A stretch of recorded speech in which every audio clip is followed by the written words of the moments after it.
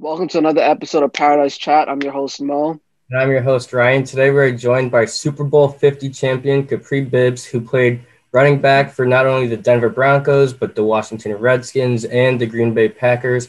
So, Kapri, thank you for taking time and talking to us. No, absolutely. Thank y'all for uh, having the show today. Yeah, thank you very much. Can you uh, give us a little bit of uh, background about yourself, um, where you're from, what was life like growing up for you, uh, kind of the background story of how you uh, got to where you are today? Uh, I was born and raised in Harvey, Illinois. Uh, kind of like all a little bit all around the city. Uh, grew up in a three bedroom house with 23 people in it. You know, so we had a big family. You know, living situations wasn't always the best, but we ended up bouncing around a little bit some uh, foster cares and shelters, you know what I'm saying, throughout Chicago and uh, like Gary, Indiana. And uh, kind of really got our break when my mom like really got back into school and got to working and uh, was able to move us out to like the suburb area of like uh, Illinois, like Plainfield area. Met my stepdad and, and things just really started going up for there. So. What uh was it that got you into playing football? Did you like play any other sports, or was football kind of just something you one day decide you wanted to start playing? Honestly, I started playing with all my friends like around like when I was a kid, and I got like in fourth, fifth grade. I started. A lot of my friends was in the football, just like me. Uh, one of my friends, Devonte, was playing football on football team for the uh, Glenwood Cougars, and I was uh, and I wanted to play real bad. my family, we didn't have the money at the time, and next thing you know, uh, my mom just came through and paid for us to pay. I knew I always wanted to play football just because all my friends and stuff was like, man, you'd be good, you'd be a good football player. Then I played my first year and I didn't even get a chance to play in one game. and, I, and they gave me like number 99 or something. Did, uh, That's crazy. Uh, football teams growing up, uh, like, were you a Bears fan or? Oh man, no, I'm a Packers fan. Oh. I was, uh, I was a Packers fan because my mom. though. that way they had nothing to do with me. Okay, so was were you like young when uh Denver and Elway uh, beat the Packers? Yeah, when was that? When was the Super Bowl one? That was in 90... 97 or 90? I, yeah, I was gonna say 90. Yeah, I really started getting the football when I was like six years old. So that was like right on the cusp. I was born in 93. Gotcha. So I didn't really start getting football until like 99, 2000. I remember I even got like Terrell. Like, uh, who was on the 2000 uh, Madden? Um, I don't know the cover of it. Uh, forgot 2000 Madden. I don't know. We was still, damn, was we still on? We was probably on still on Nintendo 64 oh. Madden. That was around the time I kind of started really getting, kind of started really getting into Madden, uh, and uh, football and stuff like that. Like uh, around like six years old. Barry Sanders.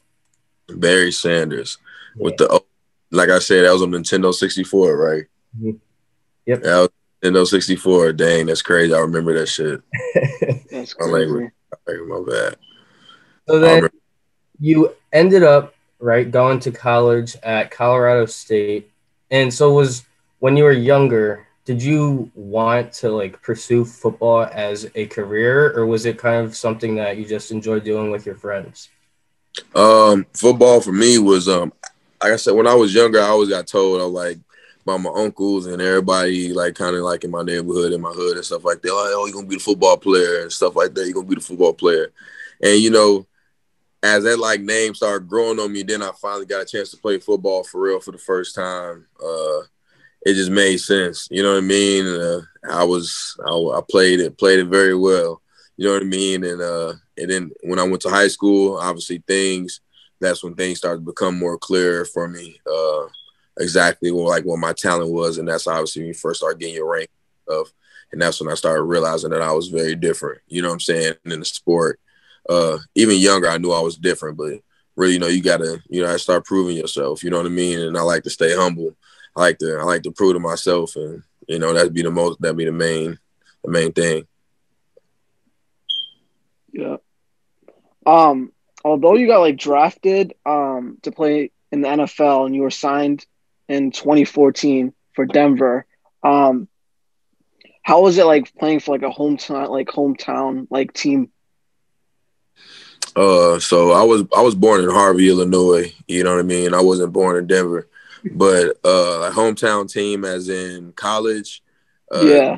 Same like kind of kind of college area. It was it was good, man. It was fun. I definitely, especially for the guys that was around my age at the time, uh, and everybody. I, I kind of like knew what was going on in the city. You know what I mean? I kind of knew what was going on around that around that area, and just getting that same market. You know what I mean? The same thing from college. You know, and that that love. I think it, it helped me out. I think it helped me out a lot too. Just staying familiar and being comfortable. Did going like undrafted like motivate you like to go like go harder and like mm-hmm. workouts and stuff like that to prove yourself to like coaches and like staff? Yeah. Uh honestly, tell you the truth, I I had I had this thing about me that I was gonna go hard regardless. You know what I mean? And I think that just because like through things I had experienced in life, uh, I've experienced not trying hard. You know what I mean? I've experienced, you know, uh, what it can get you when you don't try hard and when you don't put your best foot forward. You know, so I think just throughout time, like I always knew that I was gonna like when even like the NFL, I knew I was gonna go hard every practice. I knew I was gonna go hard every snap. You know, so uh, me being undrafted, I don't know what had happened if I went first round. You know what I mean? If my work ethic would have changed or anything. But you ask me, i w- I'm always gonna say the same. Uh, and I and it didn't change throughout my six year career that I was uh, playing five years um, actively. Uh, no, it never it never changed at any point in time, no matter how comfortable I felt or whatever. I always like to stay the same and use that same grind. Definitely. Um, so you had like a couple different like jersey numbers throughout the time that you were in the NFL. So you had number 35, you had number 26, 5, and 46. Mm-hmm. So I know some players in some sports like numbers like have significant meaning. So any mm-hmm. of those numbers like because I know one of those numbers repeats twice. Mm-hmm. Um, so is that like those numbers like have significant meaning to you? Like anywhere you grew up, like the area, like your home number, home address, something like that, meaning something to you? Yeah.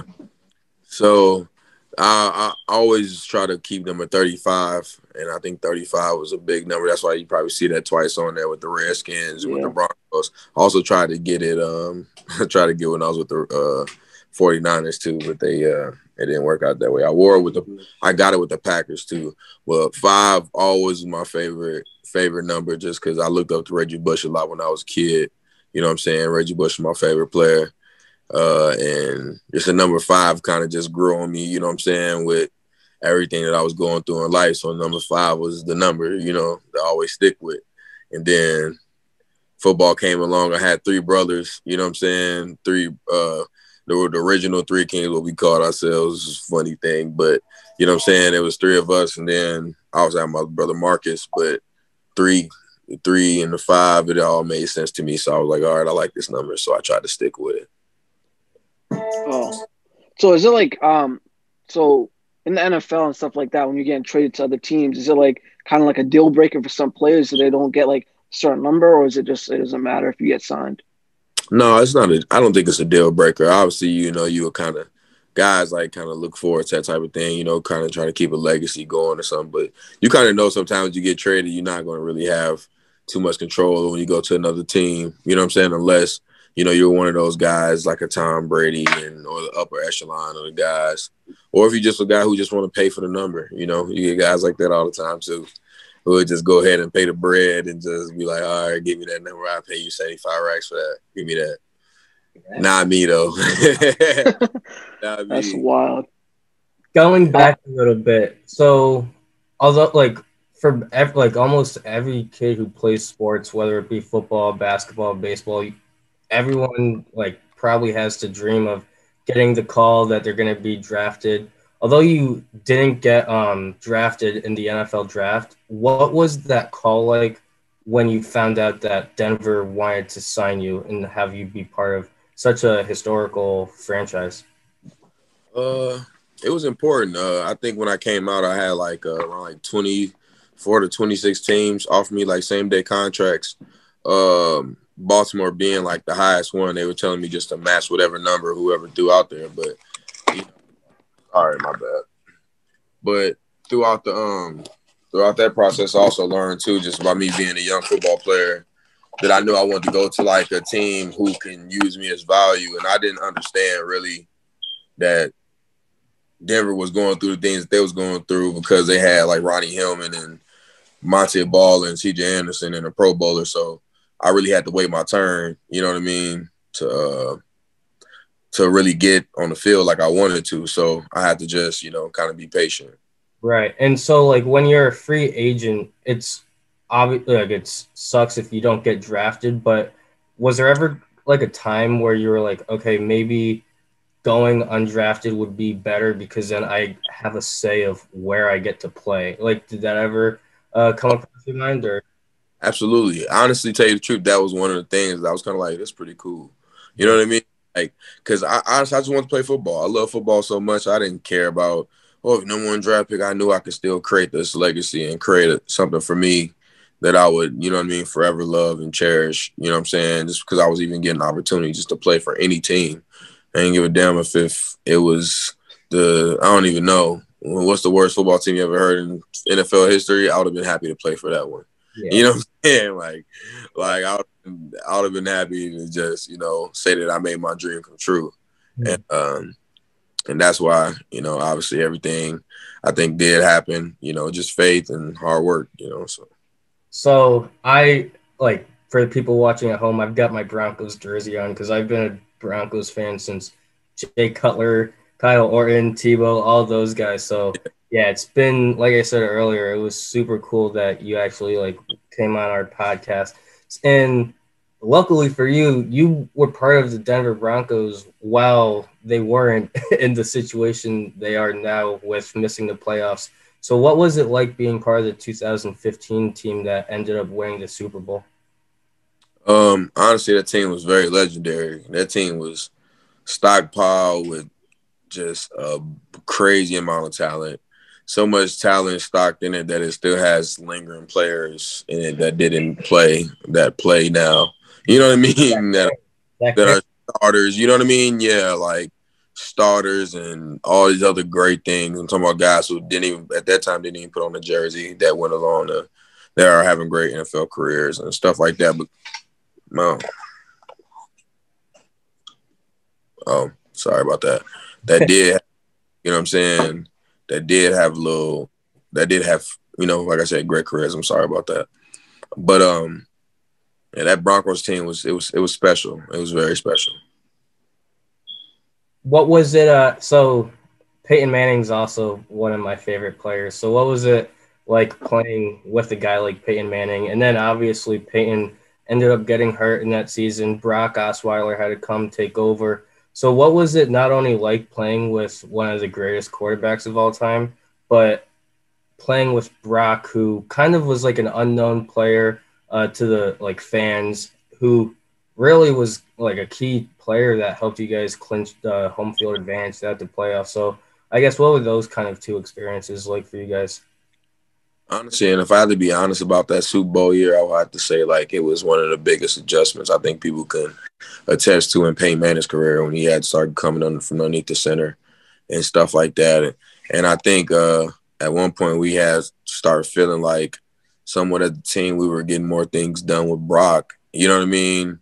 Yep. At a time, you know, just with the fact that Brock was just more mobile, uh, mobile as a uh, quarterback and uh, he can get out of certain situations that we needed from our offensive line at the time, or whatever the case it had may have been. That he just was a better fit for us at that moment of time because Brock can make was making throws and he was doing things for us that was keeping us in games uh, with the type of defense that we had and you know keeping plays alive for the big time receivers that we had and uh and the injury to Peyton just didn't help you know what I mean and I think that's why we, when Payne came back, it was kind of like a struggle if we were going to kind of put him back, you know, in the, the, I think I forgot what game it was when we just inserted him, when we just like, no, we're putting him back in the game. It was the second the half. Yeah, it was the second half of the um Chargers game, last game. Yeah, I think I think I forget I forget what it was exactly, but uh, we put him back in the game, and you know he that's when he retook the reins back over, you know. Yeah and then that's when he we end up uh, getting the win and stuff like that. Uh, but you know, it, it, that year was a very funny year because our defense was so dominant. That was the best defense that I think football NFL had ever seen. You know what I mean? Miller, like uh, DeMarcus Ware, and that back end and no fly zone was that was the best group of DBs. That's like when you would like kind of try to make on Madden. You know what I mean? When you put the three DBs with perfect, you know what I mean, ratings for covering guys, three different sizes to go out there and cover all different types of receivers on the NFL they they they had all that going on. You know what I mean? So I was I was just blessed to be a part of that and uh, be able to train with those guys every single day, practice. You know what I mean? I got a chance to get active that year, play in a couple games that season. So it was just even more of a dream come true to only be like 21 years old at the time. You know what I mean? 22 years old, just barely hitting 22 in that January. I was like, you know, it was dream come true. Go win a Super Bowl. It was it was amazing what are like the feelings that go through when like you when like the final seconds you're walking back on the field if you weren't on the field like what's like the feeling that you get uh like after a super bowl yeah oh man like uh just to see the every everybody to what's going on you know what i mean just to how wow like the the euphoric feeling you get from it is is unbelievable. And honestly, it was enough to like make me as a as a person, and I don't really get like this excited to where like I feel like it's just like too much. You know what I'm saying? Like, and I'm just like to where I just like turn to that person, I just get the staring, and that never I never really get. You know what I'm saying? I'm always down to you know what I'm saying party, turn up, whatever the case may be, but. That was just one of those specific situations in the NFL where I just found myself like really taking in the moment and really like just seeing and not focusing on like what I was going uh going through or feeling, but just watching everybody like and watching to the Peyton Mannings and the Von Millers and all these everything that was going on and around at the time. It was just it was just amazing to know that, you know, I was Super Bowl champion, you know, it's just a crazy feeling. People play 15, 20 years in NFL max sometimes and never won rings, you know what I mean, and never won championships before. So, you know, when things like that happen to you, you know, I never I never take that for granted. Um so for some people that might not know that um you're retired from the NFL. So what was the feeling like um when you found out or like came to like the conclusion that NFL was going to be over for you physically or like you wanted it to be over? Man, that's a tough question. Honestly, I'm not gonna lie to you. Just because uh, my uh, exit was a little bit more timely than I what I would have wanted. You know what I'm saying? But at the same time, uh, I still have a tremendous amount of love for the game. I'm only 28 years old. I just made 28. You know, this past January, January 10th, actually. But um, I still have, like I said, I still have a tremendous amount of love, and I definitely now retired last year, had a daughter. You know what I mean? That was my first kid, my first time ever being able to raise one of my offspring and see it, see my baby grow. You know, be able to see words come out of her mouth, formulate, and her talk to me and all that, and uh, be around to see that every single day. That's something that I never would have got playing football, and that's something. Uh, that I never would have been able to experience had I, you know, been gone every single day, gone for practices and all those other things. I don't think I would have had the connection that I have right now with my daughter. And uh now that like, you know, I was raising her and now she's older now and everything, I do I do want her to see me playing the NFL and I do want her to see me, you know, running that ball. So I don't think my I don't think my time will be uh, short lived on this on the sideline now. So be ready for a return. When uh so talking about family a little bit, you hear guys uh, sometimes in interviews talk about like the locker room and like being part of the fraternity that of like the NFL players. Can you uh, describe what it's like to be part of such like very inclusive uh, fraternity of the best of the best football players? What's that like?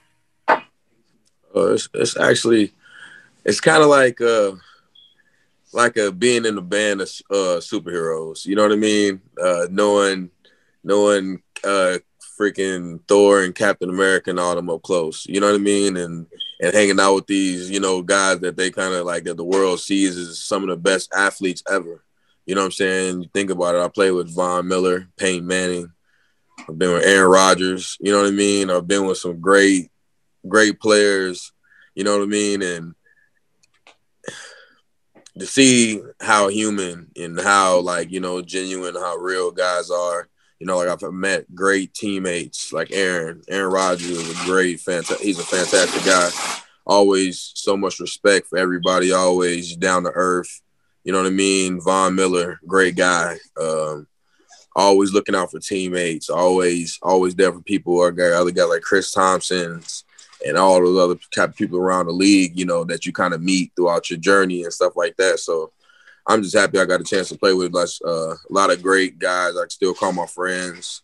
Pierre Garcon, great guy. Emmanuel Sanders, amazing, amazing dude, great father. You know what I mean? I look up to him a lot, how he treats his kids and stuff like that. He's been a like a big brother to me, you know what I'm saying, and how he's handled situations and even how he's looked out for me. So is there someone that you either played on the same team with um, as teammates or played against that when the first time you saw them, you're like, holy shit, like that's Peyton Manning, holy shit, that's Aaron. Ra-. Like, is there someone that was that just left you speechless looking at them like, damn, I'm actually playing with these guys? Honestly, first person I kind of seen like that in my eyes was Aaron Rodgers uh, Aaron, and that was and first time I had seen him, we was going against him. I wasn't even on his team at the time, but um, I grew up a Packers fan, like big time Packers fan. Like I used to turn off like I used to turn off the motherfucking heat in a uh in the wintertime just so the house can get real cold, so I could feel like I was experiencing the same winter vibes that they was going and playing in. I felt like it was good luck and shit.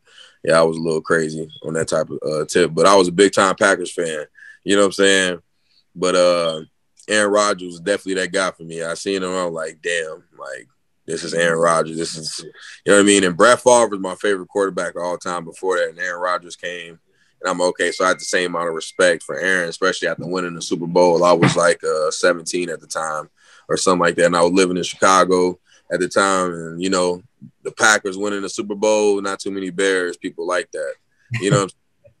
so you know, going around like you know, being happy about that and running around, parading around about that. That that was that was definitely a great bragging moment in my lifetime. Do you have any uh guys' jersey, like jersey swap with anyone or yeah, I have um I have a Za'Darius Smith. I have uh who else? Ain't know I got anybody else? Uh, Tyler Lancaster. He's from uh actually went to one of the high schools around my home, like uh, where I went to high school at, and that was about it. Other than that, I didn't really get a chance to do too much. I came in definitely on business. Came in, you know what I mean. Had to get had to get to work. I was really focused on playbook too. So. Um, in 2017, you joined the Washington Redskins, or which are not called the Redskins anymore. Um, uh, how is that transition from going from Colorado, Den- like Denver, to like playing at like for the Washington Redskins? Uh, you know, as you go and you go to a different team, to the teams, you know, you kind of can see cultural changes. You know what I mean, or you can kind of see up um up top changes. You know, from GM fluctuation uh to you know anything, and I just think you know, it's going so uh, different places like San Fran to Green Bay to Denver, all those places. You know, you can kind of see how the differences in the upstairs and how they keep the building, how ran, how well ran the bit the building is ran. You know what I mean? From the coaches on down. And it kind of speaks on the GMs and the guys from upstairs and who they're picking and what type of culture and tradition they allow to stay inside the building. So, you know, you can definitely tell, you know, which which organizations are where they are for a reason. So before we uh, let you go, since like this is an unreal opportunity for us, uh, we want to ask you just a couple questions about uh, the NFL and the game of where it's at today. So start off um, outside of your like being a fan, who like like Brett Favre, who do you think is the uh, actual greatest of all time quarterback? Do you go with Brady? Do you give it to Manning, Rodgers? Who do you think's the goat? And you know what? I, that's a bias. That's something biased. I really don't want to answer. Cause then I give it to Brett Favre, and I don't that here man start a whole uproar. You know what I'm saying? But uh, I have to say the greatest of all time, and I think he's pretty much earned this up until this point. I like. I just. I just say you have to give it to a guy like Tom Brady. I think you have to give it to a guy who's he's proven so many people wrong now at this point that you know he's even proving me wrong. Like I didn't think he was going to get one this year as a football as a football guy. Honestly, didn't I didn't I thought it was going to be next year. I, honestly, I'm not going to lie. I thought it was going to be next year, but to watch him and the way he like just even got better throughout the season. You know what I mean? Like his progression from how competitive and fiery he stayed. You know what I mean? Most guys with that many rings and that many everything, you, you know, you can catch them. You can catch them slacking sometimes. You can catch them. You can catch them, and they can be like, "Yeah, I can do this next year." You know, this ain't the team, or you know what I mean, or this ain't this ain't gonna be it, or this is. But it just you can see throughout week to week and watching him play that he cared and that he like he was on a mission. You know what I'm saying? So like to make he I can tell he made believers throughout the season rather than everybody hopped on the bandwagon at the beginning. He made he made people believers throughout the season. Yeah, and I mean being a Broncos fan, I absolutely used to hate Tom Brady, hated the Patriots. Um, but yeah, seeing Brady on a different team made me realize that I didn't hate Brady. I hate I hate the Patriots and I can't stand Patriot fans. But yeah, no, Tom Brady is I'd have to say it's him, but if there's a quarterback that can, I guess, threaten him later on in the road, I I think it's gonna either be Mahomes or nobody for a very very long time. Man, you know, seven rings, man. That's that's gonna take a while to get to duplicating, but you know, you got you do got guys. You got some couple youngsters in here right now who who making their way. And honestly, tell you the truth, like guys like Herbert and guys like Patrick Mahomes and Josh Allen's of the league make you give you give you hope. Deshaun Watson's, you know that they, they got some. You got some guys gonna give him run for his money, but now it's on you guys. He's it's amazing. It's, it's crazy. Can you uh, talk to me a little bit about uh, the Broncos? I mean, we've been horrible since 2015. It's just been it's just been bad. We've continued to miss the playoffs. We've gone through six or seven quarterbacks since Manning left. What like do you think it's going to take for Denver to get back? It's not even winning Super Bowls, but just even going eight and eight, nine and seven, 10 6. Like, what do you think Denver's got to uh, get right? Uh, honestly, Denver as a as a team right now, you know, you like I said, I think everything is ran from up top on down, you know, and if, if you got to be honest with yourself, you know, from top to bottom, you know what I mean, what's going on, and and if and if things are working out, and right now you can obviously tell they have a very big need on protecting quarterbacks. Um, the offensive line right now is very, very, um, very poor uh, which it started making a downfall when Peyton was kind of leaving. You know what I mean? And and they knew that the offensive line was going to have some trouble, and they did take a, a chance in an offensive lineman and try to build a core. But you know, it's very hard to you know even draft linemen and predict. You know what I mean? Their futures and stuff like that in the NFL. And you re- and you meet some and and you lose some. You know what I'm saying? So it's it's a very scary uh, deal to deal with. And but you know, as you obviously see, defense is very well taken care of. Is always going to stay tampered, and uh, definitely can use some some inside linebackers for you guys. But um, offensive line, I think is the biggest deal because you can have the prettiest receivers in the world, have some great guys out there. You know what I'm saying? Who can catch the ball well, can do a lot of great things on the outside. But if you can't sit back there and do what you need to do. You can't find somebody who can protect, especially inside of that conference. Uh, you're going to be in big trouble. So, you think that uh, Drew Lock could be the quarterback for the team, or do you think that they should uh, kind of explore a trade this offseason? They missed out on Stafford, but do you can you see them going for a guy like Wentz, or if Houston decides to make Deshaun Watson available, do you think they should uh, try getting another quarterback like they did when they uh, got Manning in free agency? honestly, tell you the truth, I think Drew Lock is a rock star. I think he's a great, great quarterback. Uh, obviously, in this game of sports, when there when losses start rolling, fingers get uh, fingers get the pointing, and somebody got to be to blame. So, uh, Drew Lock, he just got the eyes on him right now, you know. But the eyes need to be on that offensive line, and and I think if they can roll that film and watch a little bit more and see that there's not consistent, there's not consistent blocking, if there's not consistent time, you know, these quarterbacks are gonna are gonna struggle. You know, everybody told said Brady seeing ghosts at points and other people, but when you watch everybody not be get protected, then you get in and you're not protected. You know what I mean? And you got to worry about doing those other things, especially as a young quarterback who's trying to learn systems and do everything right. Uh, you know, it's very nerve wracking. So I would say before you give up on a guy like Drew Lock, who's showing you that he wants to be a rock star and showing you that he wants to play well, doing big things in big moments, I think you should try to build around him and get, and get him some offensive line that can keep keep him upright. Definitely. Um, I know before that we started this interview, you like mentioned that you do music as well. Could you play us like a track, like a little snippet or something like that that you're working on right now? Hey Sabo, they want to hear a song if we if we working on one in the studio. So check it out. Yeah. Oh, okay. check it out. That's it. That's it. No, it's a we uh we record a song right now in the studio actually as we speak. So yeah, play it. Come back, come back. All right, we gonna we gonna keep it legal. Keep it mm. legal.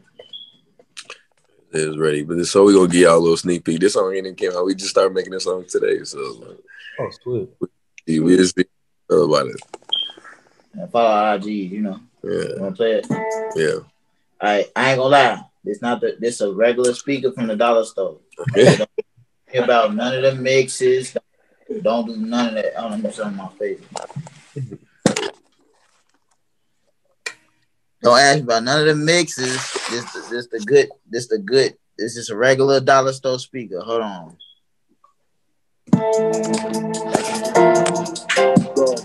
Go. Baby. Yeah. 30 points to my wrist, baby, come check it out. New V's on the whip, watch how they check it out. bad chicken, my hey, this how lot of go, check it. New phone off the lot, baby, come check it out. 40k on my neck, girl, you can't check it out. Big dog, for respect, you will be checking out. If you went the wrong way, should've taken a better route. Boys off the lot, baby, hey, come check it out. Hey, she like to turn up a lot. We have to order more shots to the room. She put my head on the box. I feel like Roddy when I'm in the room. I'm in the phone on the lot. Got my passport when I came out the room. Gotta look up on the side. I be like Kentucky when they put me in toes. Trying to fuck up the pod. Trying to get me to the back of the room. I got you on my body. How about the cool like it was a cocoon? Look at them niggas, they size. Well, I got a stick and it look like a broom. She wanna keep me with style. Well, baby, look up and you might see the moon. 30 points to my wrist, baby, come check it out. Hey, new V's on the whip, watch how they check it out. Hey, bad chick on my, uh, tell her come check it out. New phone off the lot, baby, come check it out. Hey, 40k on my neck, girl, can't check it out. Big dog, for respect, you'll be checking out. All right. That's dope, bro. I like that. That's that's fire. That's dope. Yeah, is that like like is yeah. that coming on an album soon, or when when can people like expect to see that? Man, I got a mixtape here dropping in the next three months. Uh, I got a album dropping as well, but right now I'm giving people singles. Um, and I'm be dropping here every every two to three weeks. So I'm a little I'm a little off right now, but we're gonna try to get back on schedule. So is music another passion for you as well? Yeah, absolutely. I love music. I've been doing music for a long time, uh, since I was a kid. But I started recording. I've recorded my first song like three years ago. So it's been it's been real good since. I love it. Definitely, it's dope. Um, is there anything like um we as Wild Chat Sports or Paradise Chat can do to help you out, like fans, stuff like that? Do you have like a website or Instagram you want to give a shout out to? Oh well, anybody can follow me at Three King Bibbs Five. Uh, that's three K I N G B I B B S Five. I also have my uh, YouTube and my music name is Just Kapri J U S T dash Kapri K A P R I. Y'all welcome to give me a follow and subscribe on YouTube. You know what I'm saying? Support. So yeah, links will be down um, down in the description box. Um, so that does it for today's episode of Paradise Chat. Thank you for tuning in. Make sure to like, follow, and subscribe um, to Wild Chat Sports and Paradise Chat. Uh, to stay up to, I'm your host Mo. I'm your host Ryan. We'll see you all next time. Kapri Bibbs, NFL running back, Super Bowl 50 champion. Also, just Kapri, Mike Name. Make sure y'all check me out. Paradise Chat.